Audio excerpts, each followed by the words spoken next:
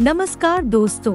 इस वीडियो में हम डिस्कस करेंगे कि सिलसैम टी टैबलेट का उपयोग किन कंडीशंस में किया जाता है। सिलसैम टी टैबलेट को कैसे लेना चाहिए और सिलसैम टी टैबलेट की वजह से क्या साइड इफेक्ट्स हो सकते हैं। और यह भी डिस्कस करेंगे कि सिलसैम टी टैबलेट को लेते समय क्या क्या सावधानियाँ रखनी चाहिए। सिलसैम टी एक ब्रांड नेम है। सिलसैम टी टैबलेट के अंदर दो दवाओं का कॉम्बिनेशन होता है। सिलसैम टी टैबलेट के अंदर सॉल्ट कम्पोजिशन सिल्निडिपाइन 10 एम और टेलमिसार्टन 40 एम होता है। जब किसी व्यक्ति का ब्लड प्रेशर किसी एक दवा से नियंत्रण में न हो रहा हो तब डॉक्टर दो दवाओं के कॉम्बिनेशन वाली सिलसैम टी टैबलेट को लेने की सलाह दे सकता है। सिलसैम टी टैबलेट का उपयोग हाइपरटेंशन होने पर किया जाता है, यानी जिन व्यक्तियों का ब्लड प्रेशर अधिक रहता है। उन व्यक्तियों में ब्लड प्रेशर को कम करने के लिए सिलसैम टी टैबलेट का उपयोग किया जाता है। सिलसैम टी टैबलेट ब्लड प्रेशर को कम करती है और दिल का दौरा पड़ने का और लकवा लगने के जोखिम को कम करती है, क्योंकि लंबे समय तक ब्लड प्रेशर अधिक रहने की वजह से किडनी फेलियर हार्ट फेलियर दिल का दौरा पड़ने का और लकवा लगने का जोखिम अधिक हो जाता है। इसके अलावा लंबे समय तक ब्लड प्रेशर अधिक रहने की वजह से आँखों की ब्लड वेसल भी डैमेज हो सकती है और आँखों की देखने की दृष्टि कम हो सकती है। एक नॉर्मल व्यक्ति का ब्लड प्रेशर 120-80 होता है। अगर किसी व्यक्ति का ब्लड प्रेशर ऊपर वाला 140 से ज़्यादा और नीचे वाला 90 से ज़्यादा है तो हम कह सकते हैं कि उस व्यक्ति का ब्लड प्रेशर प्रेशर ज़्यादा है। साइड इफेक्ट्स की बात करें तो वैसे तो ज़्यादातर व्यक्तियों में सिलसैम टी टैबलेट की वजह से कोई साइड इफेक्ट्स नहीं होते हैं। लेकिन कुछ परसेंट व्यक्तियों में सिलसैम टी टैबलेट की वजह से कुछ साइड इफेक्ट्स हो सकते हैं। जैसे हाथों व पैरों का ठंडा होना, शरीर में थकान व सुस्ती होना बार बार पेशाब आना, शरीर में प्लेटलेट काउंट कम होना, सिर चकराना, वज़न का बढ़ना सांस फूलना,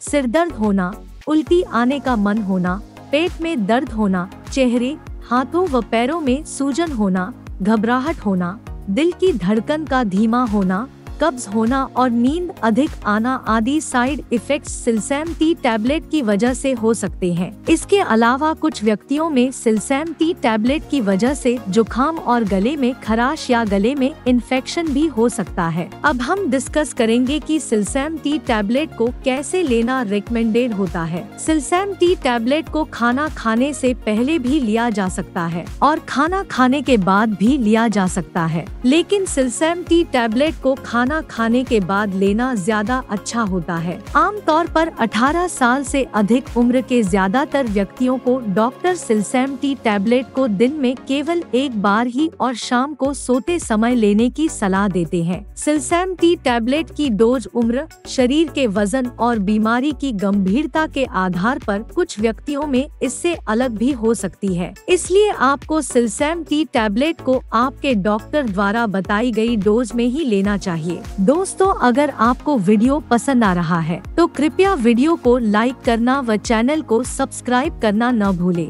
अब हम डिस्कस करेंगे कि सिलसैम टी टैबलेट को लेते समय क्या क्या सावधानियाँ रखनी चाहिए। सिलसैम टी टैबलेट के साथ दर्द को कम करने के लिए उपयोग की जाने वाली नॉन स्टेरॉयडल एंटी इन्फ्लेमेटरी दवाइयाँ जैसे एसिक्लोफनेक, डाइक्लोफनेक आइबुप्रोफेन और निम्सुलाइड आदि दवाओं को सिलसैम टी टैबलेट के साथ नहीं लेना चाहिए, क्योंकि सिलसैम टी टैबलेट के साथ इन दवाओं को लेने से सिलसैम टी टैबलेट की प्रभावशीलता कम हो सकती है, और इसके अलावा किडनी डैमेज होने का भी जोखिम अधिक हो जाता है। ब्लड प्रेशर को अच्छी तरह से नियंत्रण में करने के लिए आपको सिलसैम टी टैबलेट के साथ साथ नमक का सेवन कम करना चाहिए। स्मोकिंग नहीं करनी चाहिए, और अगर आपके शरीर का वज़न ज़्यादा है तो शरीर के वज़न को कम करना चाहिए। इसके अलावा ब्लड प्रेशर को अच्छी तरह से नियंत्रण में करने के लिए आपको रेगुलर एक्सरसाइज करनी चाहिए। सिलसैम टी टैबलेट के साथ आपको शराब का सेवन नहीं करना चाहिए और सिलसैम टी टैबलेट को लेने के बाद ड्राइविंग नहीं करनी चाहिए और ऐसी मशीनों पर काम भी नहीं करना चाहिए, जिन पर काम करने के लिए अधिक मानसिक सतर्कता की आवश्यकता होती है। क्योंकि सिलसैम टी टैबलेट को लेने के बाद कुछ व्यक्तियों को नींद अधिक आ सकती है। प्रेग्नेंट महिलाओं और स्तनपान करा रही महिलाओं के लिए सिलसैम टी टैबलेट का सेवन करना सुरक्षित व रिकमेंडेड नहीं है। वीडियो को देखने के लिए आपका धन्यवाद। अगर आपको वीडियो पसंद आया तो प्लीज़ वीडियो को लाइक कर देना। चैनल को सब्सक्राइब कर लेना। और अगर आपका सिलसैम टी टैबलेट से संबंधित कोई प्रश्न है